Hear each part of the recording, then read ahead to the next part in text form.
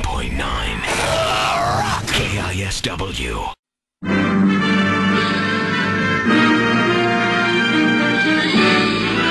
Spanning the globe to bring you the constant variety of sport, the thrill of victory, and the agony of defeat.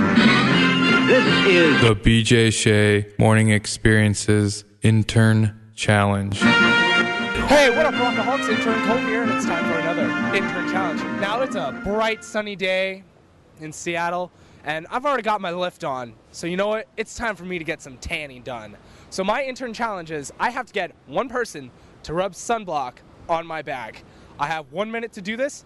It's gonna start in three, two, and then one. Let's go. Hey, hey, my man, can you help me out? Can you help me out? Can you rub sunblock on my back, please? Yes, I can. All right, come here.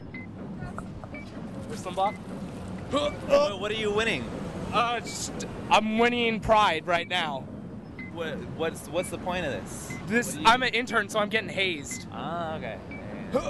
Gotta be totally. oh, this is cold. Can you rub it in? No, I don't think so. I think you need to get somebody else to rub it in. Does this win? I did the first part. I did the first Somebody part. rub in the sunblock for somebody- You just gotta walk around now. Here, here, here you go. Dude, You gotta walk. I don't know if this counts as a win though. Uh, can anybody rub in the sunblock for me? I, I gotta do this by myself then. All right, yeah. All right, I'm not gonna put my shirt back on. All right, I think this counts as a win. I think. Uh, shout out to my buddy Brad who joined the Navy. Brad, I love you. And I guess this is intern Cole saying out. And you know what? This is a win. This is not a half, not a half-ass win. If you smell what intern Cole is cooking.